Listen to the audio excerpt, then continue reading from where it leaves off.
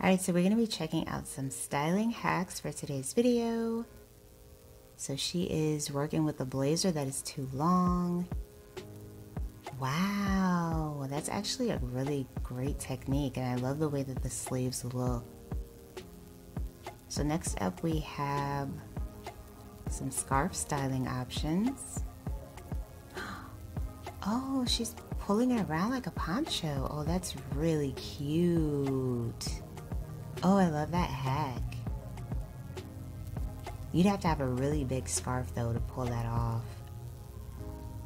So then here's some more scarves hacks.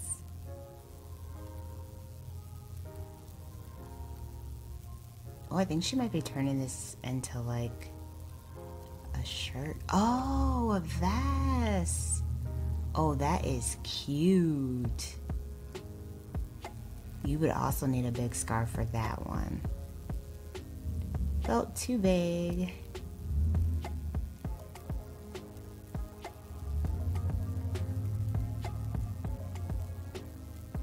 Oh, she's tying it around. Oh, that's a creative hack. And how to cuff your pants into your boots.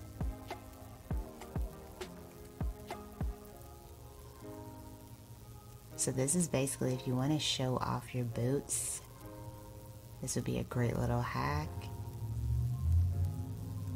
So she said that this hack was for Valentine's Day, but you can use this any time of year as long as you have on a dress. So she has a hoop earring here.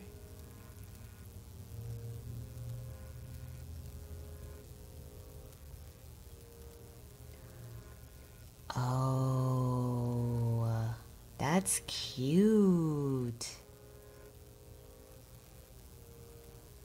I love it. I oh, I gotta try that one. So she like basically cinched in her waist, and I love those snakeskin boots, girl. She looks amazing. I gotta try that hack. It'll only work though if your dress is a little bit too big. If it's too tight, that is not gonna work. But if your dress has some move, some room in it, you could definitely pull off that look. Alright, so here's a hack for pants that are too small. So you're basically loop looping it around your pants. The button. Tucked in shirt looks bulky. People are really working with these hair ties for doing these hacks. DIY halter. So she has like a satin top here and she's gonna turn this into a halter top. Oh, wow. What a great idea. I might have to try that one. Actually, I don't have a satin blouse. I wonder if it would work with just like any button down top. So if you guys feel inspired by any of these DIY hacks, be sure to like today's video and of course hit that subscribe button.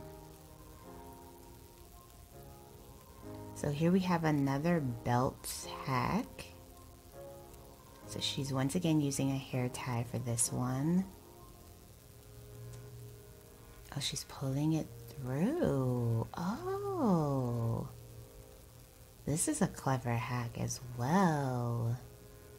You're like basically adding in another loop. So we got an oversized t-shirt hack. So basically she's making it more wearable.